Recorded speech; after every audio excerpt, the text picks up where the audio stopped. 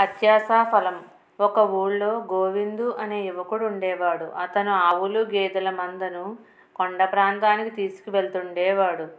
అయితే అవి గడ్డి మేస్తూ చుట్టుపక్కల ఎటుపడితే అటు వెళ్ళిపోతుండేవి. తప్పిపోతే దొరకవని గోవిందుడు వాటికి చిన్న చిన్న గంటలు మెడకు కట్టాడు.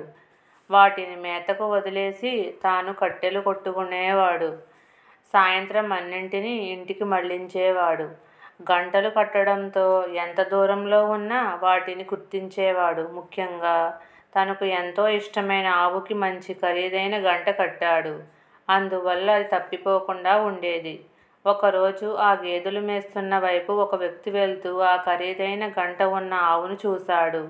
ఆ ఆవును ఎలాగైనా తస్కరించాలనుకున్నాడు. వెంటనే గోవిందుడి దగ్గరికి వెళ్ళి ఆవు మెడలో గంట ఎంతో బాగుంది నాకు అమ్ముతావా? నీకు కావలసినంత సొమ్ము ఇస్తాను అని అడిగాడు. వీడెవడో వెర్రివాడిలా ఉన్నాడు. ఉత్తి గంటకి ఎంతో డబ్బులిస్తున్నాడు అని మనసులో నవ్వుకుని సరేనన్నాడు గోవిందుడు. ఆ వ్యక్తి ఆ గంటను తీసుకుని డబ్బులిచ్చి వెళ్ళాడు. ఆ మరునాడు ఆ గంట కొన్న వ్యక్తి గోవిందుడు ఉన్న చోటకి వచ్చాడు. నెమ్మదిగా మెడలో గంటలేని ఆవుని ఇంటికి తీసుకువెళ్ళిపోయాడు.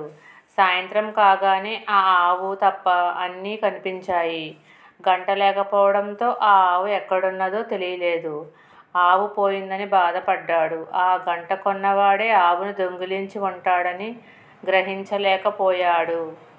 అయ్యో గంట ఉంటే బాగుండేదే అని చింతించాడు. నీతి: అత్యాశకు పోతే మన దగ్గర ఉన్నది కూడా పోతుంది.